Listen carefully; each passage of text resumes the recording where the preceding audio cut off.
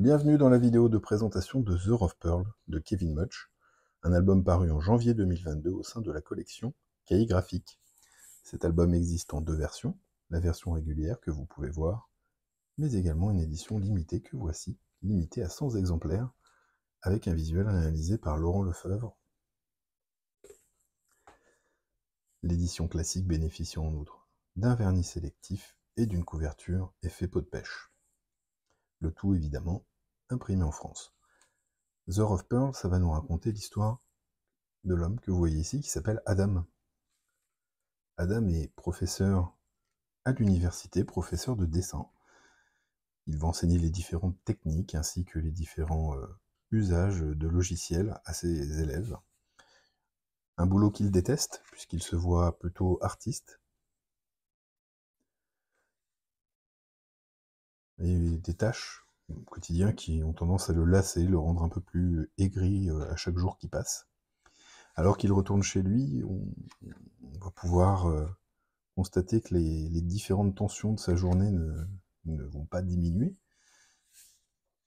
puisqu'à son arrivée, sa chérie, Anna, lui tombe dessus en lui disant que ce soir est un jour important pour elle, un moment important, puisqu'elle va recevoir des collègues de bureau qui pourraient lui permettre bah, tout simplement d'avoir une belle promotion.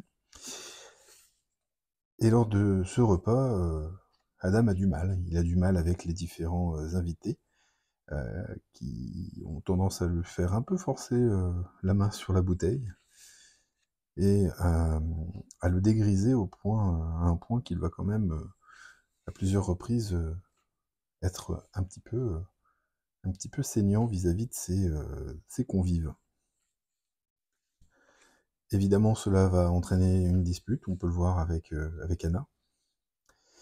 Et une fois que tout le monde est parti, que sa chérie est partie se coucher, Adam continue de boire et se rappelle surtout qu'il a du travail à faire pour le lendemain. Un travail euh, pour lequel il va avoir du mal à se concentrer et dans lequel il va petit à petit perdre pied, puisqu'il, comme on peut le voir là, une vision étrange va se produire. Il va croiser un certain type qu'on ne connaît pas, et voir de plus en plus de, yeux, euh, des yeux qui, vont apparaître tout autour de lui, au point de, donner une vision un peu euh, hypnotique, paranoïaque, et euh, pour le voir reprendre, reprendre conscience à côté d'Anna, on voit que la situation est compliquée, on se demande où ça va aller.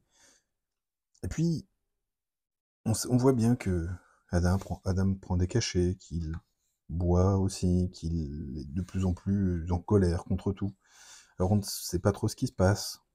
Est-ce qu'il est en train de faire la crise de la quarantaine? Est-ce qu'il se dit que ces petites étudiantes qu'il voit de plus en plus euh, finalement vont lui faire tourner la tête? Est-ce qu'il n'est pas juste en train de devenir progressivement, comme on peut le voir à travers ces visions-là, de plus en plus fou, en quelque sorte Est-ce qu'il perd pied? Est-ce qu'il va complètement sombrer? Au fur et à mesure de la lecture, une sensation euh, proche de celle d'un film, euh, d'un film que pourrait réaliser David Lynch, fait de plus en plus sentir. On perd nos repères. On sent que tout part euh, en vrille, sans jamais savoir jusqu'où on peut aller euh, au sein de la lecture. Et c'est vrai qu'Adam, euh, c'est un personnage qui euh, ne va pas vous attirer forcément une immense sympathie dès le départ, mais va surtout vous emmener, vous conduire dans les méandres de ses pensées, peut-être de sa folie. Et la lecture va se faire vraiment captivante, hypnotisante, à tel point d'ailleurs que on a même prévu une post-face pour vous donner quelques pistes narratives, quelques bribes d'idées de choses que vous avez peut-être échappées. Euh, tout comme également, euh, on a pensé inclure un entretien avec Kevin Much qui nous parle de son parcours, de sa connaissance de la bande dessinée française depuis le Canada. Pour cet anglophone, on apprend également qu'il a été chanteur d'un groupe qui s'appelle les Crash Test de Mise, qu'il l'a quitté avant que le groupe devienne célèbre, qu'il les, côtoie toujours d'ailleurs à Winnipeg. Et il nous a voilà, fourni de ses premiers euh, dessins euh, anciens. Voilà, donc. L'album est toujours disponible euh, au sein de notre collection euh, graphique sur notre site internet en librairie au tarif de 22 euros.